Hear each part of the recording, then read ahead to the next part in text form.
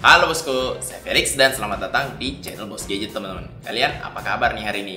Dan pertama-tama saya mau ngucapin selamat menjalankan ibadah puasa ya Karena kita udah memasuki bulan puasa dan semoga teman-teman kuat puasanya Dan hari ini tuh saya mau cerita ke teman-teman Karena beberapa hari ini saya tuh seneng banget deh Hidup saya terasa sempurna banget Dan mungkin ada teman-teman yang berkata Wah emang lu siapa? Mau hidup lu gimana kek? Ya terserah lah. Tapi mungkin ada juga yang ya peduli sama saya sedikit. Dan mau tahu gimana caranya hidup saya bisa jadi sedikit lebih sempurna? Jadi saya mau sharing ke kalian. Oke jadi pertama-tama sebelum kita mulai uh, pembahasan soal sesuatu yang bikin hidup saya lebih sempurna saya mau bahas dulu soal ya daily driver saya. Mungkin teman-teman yang udah sering nonton video di channel ini harusnya tahu ya kalau sampai sekarang saya masih setia untuk pakai S8 Plus sebagai daily driver. Nah, ini sebenarnya ada beberapa faktor yang bikin saya setia di HP ini sih. Pertama, teman-teman mungkin udah tahu juga kalau saya itu bukan penggemar notch atau ya mungkin masih kurang bisa mentoleransi notch sebagai daily driver. Walaupun memang saya udah cukup terbiasa ya dengan keberadaan notch, tapi untuk daily driver kayaknya masih belum lah. Makanya saya belum berani untuk pindah ke kayak Huawei P30 ataupun yang lain-lain. Tapi kemarin sempat mau ganti ke S9, maunya nunggu S10, kirain bakal no notch ataupun tompel, tapi ternyata ya hidup tak seindah itu teman-teman. Terus banyak juga fitur-fitur yang ya kayak V15 nggak punya seperti NFC atau F11 Pro juga nggak punya, NFC kan nggak ada tuh. Dan saya cukup butuh sih untuk ngecek uh, jumlah etol gitu-gitu. Nah, selain itu mungkin karena udah nyaman aja sih ya tapi ada satu kekurangan di HP ini tuh yang terasa fatal banget, yaitu di bagian baterainya yang ya busuk dan hancur banget. Mungkin teman-teman yang udah pernah pakai S8 Plus juga udah tahu ya kalau S8 Plus itu memang jelek banget di bagian baterai. Dan akhirnya saya menemukan solusi yang pas banget untuk masalah ini. Yaitu ini dia. Ya, ini power bank. Cukup aneh ya. Nah, kenapa power bank ini bisa saya anggap solusi? Pertama-tama, setelah saya searching-searching di internet, agak aneh juga sih kalau saya bilang barang ini baru dan bikin tiba-tiba hidup saya lebih gimana. Cuman memang hanya ini aja sih yang saya butuhkan di hidup saya selama ini. Pertama-tama saya mau kasih tahu kalau ini adalah power bank dari Acmic yaitu tipe P20 Pro. Ingat ini Acmic P20 Pro ya, bukan Huawei P20 Pro. Itu beda lagi ceritanya. nah, untuk P20 Pro ini banyak banget kelebihan yang saya rasakan setelah saya pakai lebih dari seminggu deh rasanya.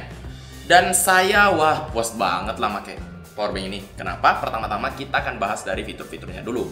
Kalau kita lihat, powerbank ini tuh kecil banget ya dan compact banget di tangan. Tapi mungkin teman-teman udah nanya nih, pasti ya karena kapasitas baterainya kecil.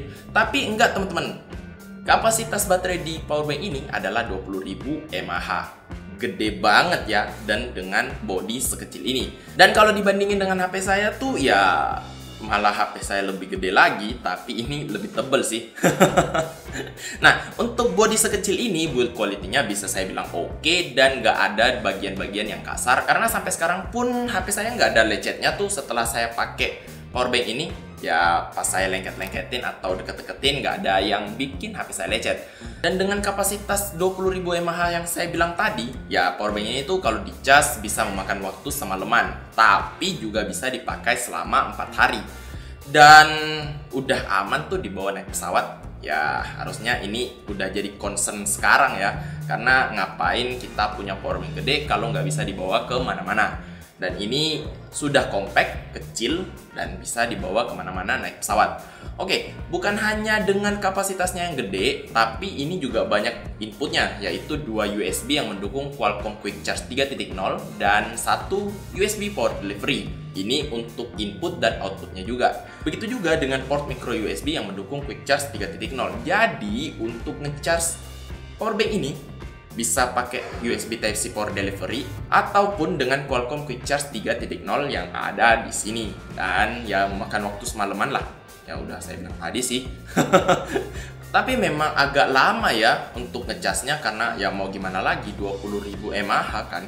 Nah terus di bagian bodinya ini di samping juga ada tombol yang ya bisa kita pencet. Satu kali itu untuk nyalain powerbanknya dan kalau dipencet dua kali itu untuk matiin powerbanknya Nah sebenarnya saya juga pernah ngecas HP saya sampai full banget nih. Tapi saya masih bingung sih untuk apa ada power off-nya karena pas HP saya 100%, HP saya tuh berhenti ngecas sendiri. Hmm, apa mungkin kebetulan aja kali ya? Iya kali, nggak tau lah. Selain itu kita juga dapat pouch gratisan dan kabel gratisan yang ya cukup keren lah. Dan ini setelah saya lihat di Tokopedia harganya tuh hanya 300 ribuan. Kok bisa? Apalagi ini ada garansi selama 18 bulan dan bisa langsung diganti baru kalau rusak. Kalau kita tadi udah bahas hal-hal yang bikin powerbank ini sempurna banget dan bisa bikin hidup saya makin sempurna lagi, walaupun sebelumnya udah sempurna juga sih. nah, pasti ada kekurangan kan di powerbank ini. Ya tentu aja ada kekurangan-kekurangan seperti indikatornya ini masih kurang jelas di sini hanya 4 titik aja dan belum ada indikator seperti angka yang lebih presisi. Terus dengan ukuran yang kecil, tentu aja powerbank tuh cukup berat ya. Ya ini bisa saya bilang berat banget sih. Tapi bisa saya toleransi karena kapasitas baterainya yang gede yaitu 20.000 mAh coy. ya gede banget. Terus dengan kabel yang kita dapat walaupun keren kayak gini dan bisa magnet-magnet gitu, sayangnya ini masih micro USB tipe B dan bukan USB tipe C. Jadi saya yang pemakai S8 Plus yang perlu tipe C harus beli kabel lagi sendiri gitu. Dan kita juga dapat gantungan di kabelnya. Sayangnya di sini di powerbanknya ini nggak ada tuh tempat gantungin gantungannya. Dan untung aja di tas saya ada gantungan untuk gantungan kabel gitu. Jadi ya mungkin untuk saya ini cukup sempurna. Tapi mungkin beberapa dari teman-teman ya bakal bisa kehilangan kabelnya ini dengan waktu yang singkat. Ya tolong dijaga ya kabelnya. Itu cepat hilang tuh. Jadi kita langsung masuk ke kesimpulan aja ya. Dan menurut saya tuh dengan satu device ini saya bisa tertolong banget. Walaupun mungkin sekarang HP-HP tuh kebanyakan udah nggak butuh lagi power bank karena udah punya baterai yang gede banget. 5000 mAh lah 4500 lah 4000 4300 tapi tetap aja ada user kayak saya yang masih tetap bertahan di HP yang wah udah masa kayak gini. Yang ya kayak gini dengan baterai yang busuk tapi tetap cinta dengan HP-nya jadi menurut saya ya dengan harga yang ditawarinnya itu kalau nggak salah di Tokped 299.500 deh. Ini sangat-sangat value deal dan oke okay banget sih. Dengan fitur-fiturnya juga cukup banyak.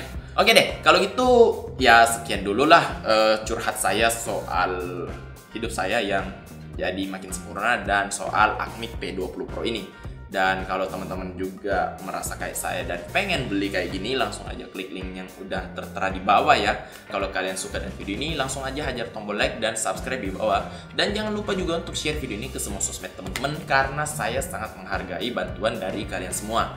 Dan kalau kalian gak suka dengan video ini, ya langsung aja lah kalian tahu harus ngapain. Mungkin pencet tombol like atau dihajar sampai warnanya biru. Kalau gitu, ya saya Felix undur. Kita ketemu lagi di video selanjutnya. Bye-bye.